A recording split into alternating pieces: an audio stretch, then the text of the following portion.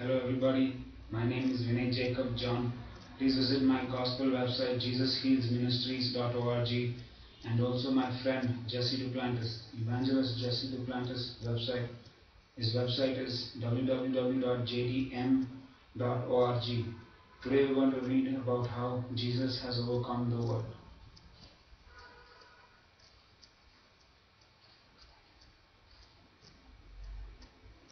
John chapter 16, verse 33.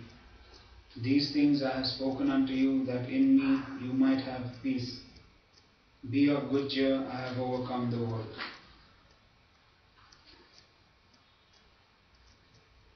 One John chapter five verses four and five. For whatsoever is born of God, Jehovah, Jesus, Holy Spirit, Jehovah, overcometh the world, and this is the victory that overcometh the world, our faith. Who is he that overcometh the world, but he that believeth that Jesus is the Son of God, Jehovah, Jesus, Holy Spirit, Jesus Christ.